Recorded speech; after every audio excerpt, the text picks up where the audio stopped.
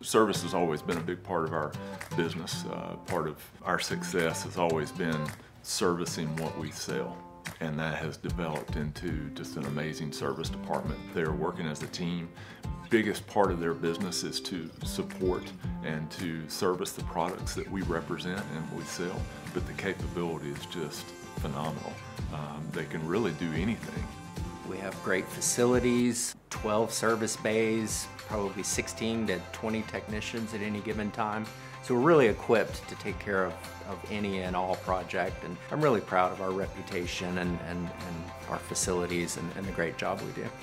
It makes me proud to come in every day and to see just the scope of work that gets done here. Everything from a 53 foot transporter all the way down to maybe a 6x12 trailer, and every customer gets the exact same service. The guys put in the same effort no matter what size trailer or customer it is. They all put forth the same effort every time. Reason why I love working at Trailers of the East Coast is just uh, every day is different.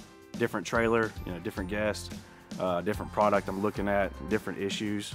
Um, so it's just kind of learning every day. Everybody works together as a team. Um, we get we get stuff done that way. We get work done.